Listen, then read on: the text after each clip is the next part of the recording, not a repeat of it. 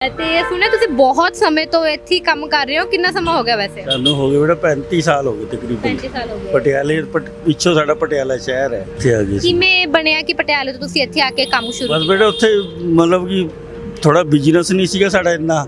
ਤੇ ਬਾਕੀ ਘਰਦਿਆਂ ਨੇ ਸਾਥ ਦਿੱਤਾ ਸਾਡੇ ਭਰਾਵਾਂ ਨੇ। ਤਾਂ ਦੇਖੋ ਇਹ ਹੈ ਵੀ ਜੇ ਆਪਾਂ ਸਤਿਗੁਰੂ ਤੇ ਵਿਸ਼ਵਾਸ ਰੱਖਦੇ ਆ ਨਾ ਤਾਂ ਸਭ ਕੁਝ ਹੈ। ਤੇ ਭਾਵੁਕ ਹੋ ਜਾਂਦੇ ਜੋ ਪੁਰਾਣੀ ਗੱਲਾਂ ਯਾਦ ਆ ਜੀ ਦੇਖੋ ਕਿਸੇ ਨੇ ਸਾਥ ਨਹੀਂ ਦਿੱਤਾ। ਨਾ ਭਰਾਵਾਂ ਨੇ ਦਿੱਤਾ ਨਾ ਮਾਂ ਨੇ ਦਿੱਤਾ ਜਿਹੜੀ ਪੇਟ ਚੋਂ ਜਨਮ ਦਿੰਦੀ ਹੈ ਉਸਨੇ ਸਾਨੂੰ ਹਿੱਸਾ ਤੱਕ ਨਹੀਂ ਦਿੱਤਾ। 2 ਕਰੋੜ ਦੀ ਪ੍ਰਾਪਰਟੀ ਸੀ। ਕਿਸ ਤਰ੍ਹਾਂ ਸੋਚਿਆ ਕਿ ਇਸ ਇਸ ਸਿੱਖ ਗੁਰਸਿੱਖ ਵੱਲ ਜਾਣਾ ਹੈ ਇਹ ਕਿਵੇਂ ਮੰਨਦੇ ਜੇ ਕੋਈ ਗੱਲ ਵੀ ਹੁੰਦੀ ਆ ਮੈਂ ਪਹਿਲਾਂ ਕੋਈ ਧੰਨ ਗੁਰੂ ਰਾਮਦਾਸ ਜੀ ਕਰਾਂ। ਹੁਣ ਦੇਖੋ ਤੁਸੀਂ ਹੁਣ ਵੀ ਆਏ ਹੋ ਪਾਠ ਸਵੇਰ ਦਾ ਚੱਲਦਾ ਪਿਆ ਸੁਖਮਨੀ ਸਾਹਿਬ ਦਾ ਪਾਠ ਚੱਲ ਰਿਹਾ ਹੈ। ਚਾਰ 24 ਘੰਟੇ ਮੇਰੇ ਕੋਲ ਇੱਥੇ ਪਾਠ ਹੀ ਚੱਲਦਾ। ਉਰੇ ਤੋਂ ਮੈਂ ਘਰ ਚਲੇ ਜਾਊਂਗਾ ਤਾਂ ਘਰ ਵੀ ਮੇਰੇ ਪਾਠ ਹੀ ਹੈ। ਮੈਨੂੰ ਗੁਰੂ ਸਾਹਿਬ ਤੇ ਭਰੋਸਾ ਹੈ। ਮੈਰਿਜ ਹੋਣ ਤੋਂ ਬਾਅਦ ਜਿਵੇਂ ਤੰਗ ਪਰੇਸ਼ਾਨ ਕਰਨ ਲੱਗੇ, ਬੇਟੀ ਹੋ ਗਈ, ਫਿਰ ਕਹਿੰਦੇ ਵੀ ਤੁਸੀਂ ਛੱਡ ਦਿਓ ਇਹਨਾਂ ਨੂੰ, ਵੀ ਬੇਟੀ ਦੇ ਨਾਲ ਕੀ ਕਰੋਗੇ, ਤੁਸੀਂ ਆਪ ਹੀ ਪਹਿਲਾਂ ਇੰਨੇ, ਫਿਰ ਅਸੀਂ ਨਹੀਂ, ਮੈਂ ਇਹਨਾਂ ਦੇ ਨਾਲ ਹੀ ਰਿਹਾ। ਇਹਨਾਂ, ਉਹਨਾਂ ਨੇ ਮੇਰਾ, ਮੇਰੀ ਮਿਸੀ ਨੇ ਮੇਰਾ ਬੜਾ ਸਾਥ ਦਿੱਤਾ ਹੈ। ਮੈਂ ਆਪਣਾ ਤਾਂ ਕੁਝ ਨਹੀਂ ਸਮਝਦਾ, ਕਿਉਂਕਿ ਅੱਜ ਕੱਲ੍ਹ ਧੀਆਂ, ਆਪਾਂ ਕਹਿੰਦੇ ਨਾ ਵੀ ਧੀਆਂ ਨਹੀਂ ਸਾਥ ਦਿੰਦੀਆਂ, ਧੀਆਂ ਬਹੁਤ। ਅੱਜ ਵੀ ਹੁਣ ਮੈਨੂੰ ਕਹਿ ਕੇ ਜਾਂਦੇ ਕਹਿੰਦੇ ਪਾਪਾ ਕੰਮ ਛੱਡ ਦਿਓ।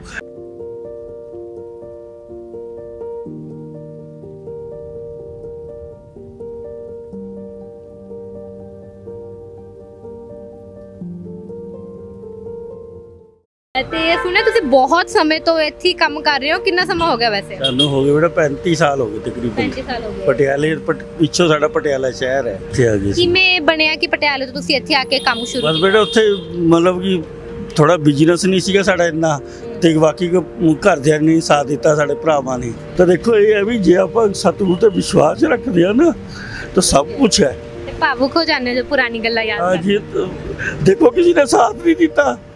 ਨਾ ਭਰਾਵਾਂ ਨੇ ਦਿੱਤਾ ਨਾ ਮਾਂ ਨੇ ਦਿੱਤਾ ਜਿਹੜੀ ਪੇਟ ਚੋਂ ਜਨਮ ਦਿੰਦੀ ਹੈ ਉਸਨੇ ਸਾਨੂੰ ਹਿੱਸਾ ਤੱਕ ਨਹੀਂ ਦਿੱਤਾ। 2 ਕਰੋੜ ਦੀ ਪ੍ਰਾਪਰਟੀ ਸੀ।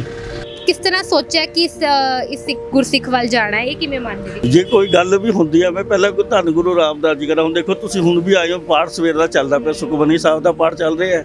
ਚਾਰ 24 ਘੰਟੇ ਮੇਰੇ ਕੋਲ ਇੱਥੇ ਪਾਠ ਹੀ ਚੱਲਦਾ ਉਰੇ ਤੋਂ ਮੈਂ ਘਰ ਚਲੇ ਜਾਊਂਗਾ ਤਾਂ ਘਰ ਵੀ ਮੇਰੇ ਪਾਠ ਹੀ ਹੈ। ਮੈਨੂੰ ਗੁਰੂ ਸਾਹਿਬ ਤੇ ਭਰੋਸਾ ਹੈ। ਮੈਰਿਜ ਹੋਣ ਤੋਂ ਬਾਅਦ ਜਿਵੇਂ ਤੰਗ ਪਰੇਸ਼ਾਨ ਕਰਨ ਲੱਗੇ, ਬੇਟੀ ਹੋ ਗਈ, ਫਿਰ ਕਹਿੰਦੇ ਵੀ ਤੁਸੀਂ ਛੱਡ ਦਿਓ ਇਹਨਾਂ ਨੂੰ, ਵੀ ਬੇਟੀ ਦੇ ਨਾਲ ਕੀ ਕਰੋਗੇ, ਤੁਸੀਂ ਆਪ ਹੀ ਪਹਿਲਾਂ ਇੰਨੇ, ਫਿਰ ਅਸੀਂ ਨਹੀਂ, ਮੈਂ ਇਹਨਾਂ ਦੇ ਨਾਲ ਹੀ ਰਿਹਾ। ਇਹਨਾਂ, ਉਹਨਾਂ ਨੇ ਮੇਰਾ, ਮੇਰੀ ਮਿਸੀ ਨੇ ਮੇਰਾ ਬੜਾ ਸਾਥ ਦਿੱਤਾ ਹੈ। ਮੈਂ ਆਪਣਾ ਤਾਂ ਕੁਝ ਨਹੀਂ ਸਮਝਦਾ, ਕਿਉਂਕਿ ਅੱਜ ਕੱਲ੍ਹ ਧੀਆਂ, ਆਪਾਂ ਕਹਿੰਦੇ ਨਾ ਵੀ ਧੀਆਂ ਨਹੀਂ ਸਾਥ ਦਿੰਦੀਆਂ, ਧੀਆਂ ਬਹੁਤ। ਅੱਜ ਵੀ ਹੁਣ ਮੈਨੂੰ ਕਹਿ ਕੇ ਜਾਂਦੇ ਕਹਿੰਦੇ ਪਾਪਾ, ਕੰਮ ਛੱਡ ਦਿਓ।